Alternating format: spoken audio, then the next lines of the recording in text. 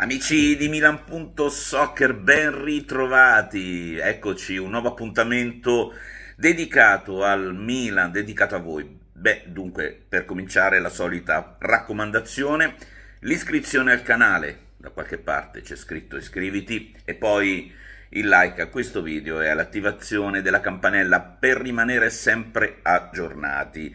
Sotto, invece, se volete sapere di più sulla seconda squadra di Milano, Milan Futuro, il Milan Under 23, c'è il nostro nuovo canale. Guardatelo, magari vi iscrivete anche lì, è tutto gratis. Grazie davvero a chi lo farà. Sempre in descrizione poi il sito per scaricare la musica copyright free. Allora, il campionato sta per arrivare, eh? È vero, noi siamo ancora concentrati sulle amichevoli americane, che sono andate e stanno andando particolarmente bene, quindi faccio un applauso al nostro mister che per fortuna ridà un po' di dignità in termini di visibilità eh, in giro per l'Europa. Quando abbiamo fatto queste amichevoli con la scusa che poi alla fine non contano nulla se non per fare cassa però abbiamo fatto delle ampie clamorose figure di M puntini puntini.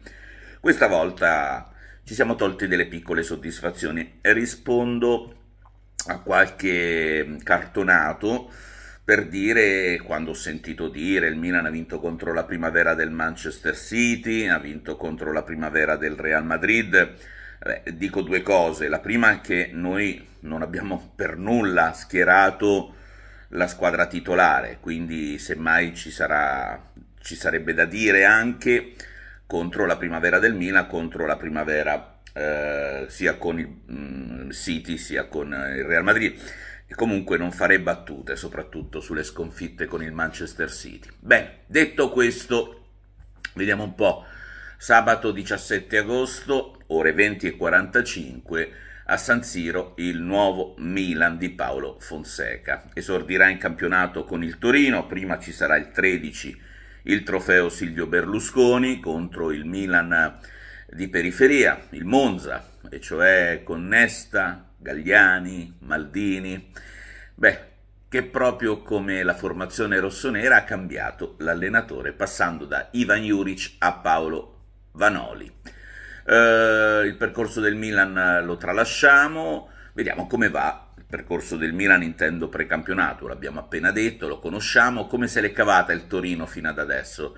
I Granata si sono comportati piuttosto bene, migliorando partita dopo partita non solo nei risultati ma anche e soprattutto nelle prestazioni. Dopo la prima sorprendente sconfitta contro la Cremonese, scusate un po' di mal di gola da aria condizionata, sconfitta contro la Cremonese con i Lombardi che sono riusciti ad imporsi per 2-1, il Torino ha prima pareggiato 0-0 contro il Lione e poi vinto contro il Metz anche in maniera abbastanza netta, imponendosi per 3-0 grazie alle reti di Capitan Zapata, Lazzaro e Ricci, sì, il nuovo capitano è proprio lui Zapata.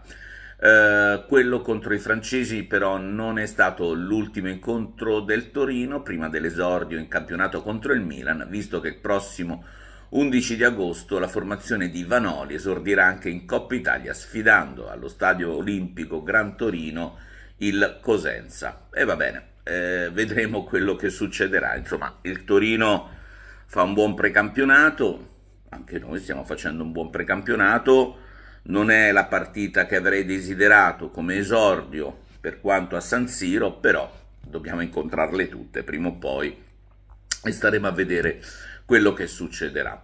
Uh, arrivo alla questione di copertina.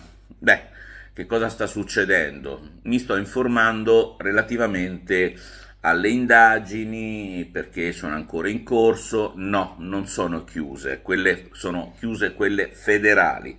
La giustizia federale è un conto, la giustizia ordinaria è un'altra.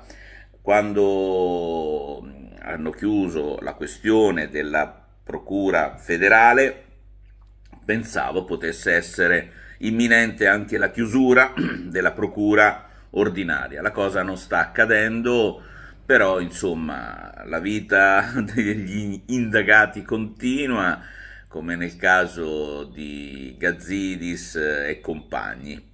Vi terremo aggiornati. Perché dico questo? Perché in questo bailam di ex nomi sono, mi sono imbattuto in questa piccola telenovela tra Frederic eh, Massara e il buon, e il buon Pioli. Eh, arriviamo subito alla questione. Eh, sembrava fatta tra Pioli e la Litiad con una firma clamorosa di 18 milioni di euro di ingaggio, ma il, eh, diciamo così, dopo una crisi interna tra l'allenatore ed alcuni giocatori che non volevano Pioli, o meglio, che volevano più Blanc, ecco che la Litiad ha fatto la sua scelta. Eh, per quanto riguarda invece il futuro di Stefano Pioli, ci interessa molto poco, un po' ci interessa, però molto poco, ma vi spiego perché ci sarà una piccola vendetta, perché Stefano Pioli firma, firma in questa settimana un contratto, è pronto dunque a tornare in campo e lo farà grazie proprio a Frederic Massara che è il nuovo direttore sportivo del Ren e ha scelto Stefano Pioli in panchina, ex dirigente del Milan, lo aveva già scelto insieme a Paolo Maldini al tempo ed ora è pronto a lavorare anche con lui. Chissà che non troveremo Paolo Maldini al Ren. No, non c'è nessuna notizia, non c'è nessuna indicazione, è una mia fantasia, voglio vedere Paolo da qualche parte. Eh, secondo quanto riferito da fonti più o meno ufficiali, cioè organi di stampa francesi, eh, questa settimana sarà una settimana decisiva. Il Ren dunque ha scelto e inizia, inizia, eh, inizia tra virgolette la sua campagna, eh, la sua campagna acquisti. Eh, di chi si sta parlando?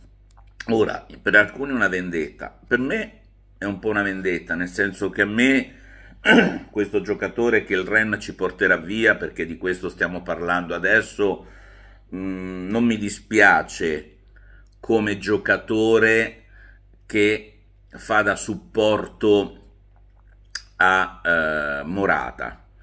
Noi abbiamo bisogno di un attaccante, sarà Mor- è Morata, sarà poi Abram, Icardi e poi la terza punta è Jovic, che è una signora terza punta, quando è entrato ha fatto sempre bene, non fa reparto, non gli puoi dare la squadra in mano come la potevi dare a Giroud, però quando è entrato ha fatto sempre bene.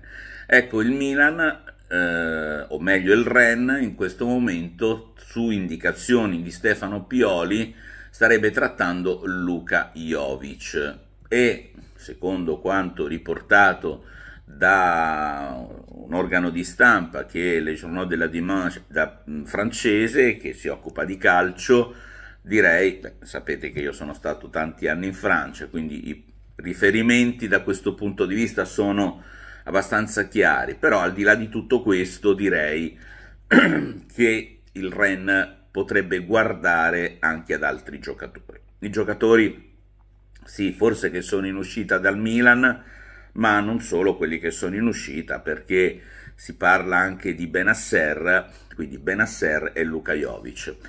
Piccole vendette, dite che non è una vendetta? Ma eh, è un favore, allora cambiamo la copertina. Grazie Pioli, grazie dei tuoi favori. Dipende da come la vedete. Io non lo darei via a Benasser. Poi fatemi sapere tra i commenti. Un saluto, ciao.